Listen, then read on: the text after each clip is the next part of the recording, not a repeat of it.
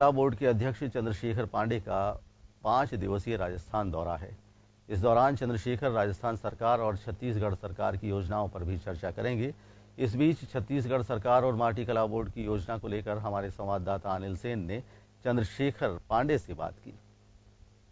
पाँच दिन के दौरे पर छत्तीसगढ़ से माटी कला बोर्ड के अध्यक्ष चंद्रशेखर पांडे जी आए हुए हैं।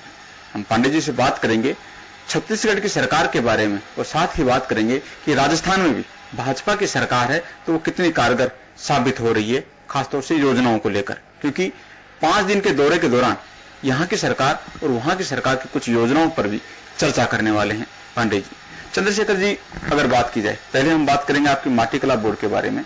वहाँ का बोर्ड और यहाँ पर भी बोर्ड हाल ही में गठित किया गया है।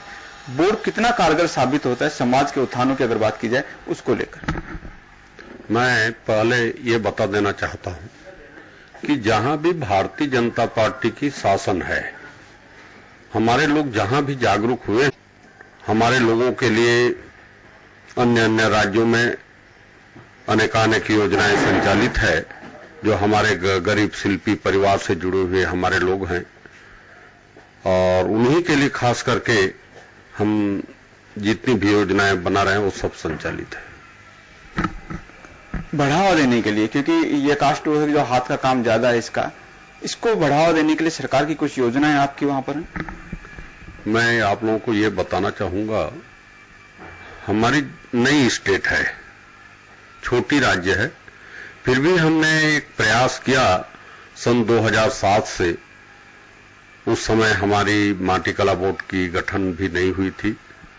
तो हम वहाँ पर एक करोड़ का एक यूनिट स्थापित किए शासन के सहयोग से, जो निशुल्क समाज के लिए संचालित आज भी संचालित है। तो उसके तहत हमारे बच्चों को, हमारे माटी कला बोर्ड की ओर से हम उसको उस कौशल उन्नयन योजना से हम जोड़ के चल रहे हैं और उनको ट्रेनिंग देके स्वरोजगार से उनको जोड़ रहे हैं, जिससे उनकी बेरोजगारी दूर हो सके। बिल्कुल, ये थे चंद्रशेखर पांडे जी जो कि छत्तीसगढ़ से राजस्थान पहुँचे हैं। राजस्थान में पाँच दिन तक ये रहेंगे और बता रहे कि किस तरह से बेरोजगार भी एक रोज़गार की राह पकड़ सकते हैं। फिर चाहे प्रधानमंत्री की कौशल विकास योजना हो या फिर माटी कला की अन्य योजनाएँ। कैमरामैन गिरिराज के साथ अनिल सैन जंटी न्यूज़ जयपुर।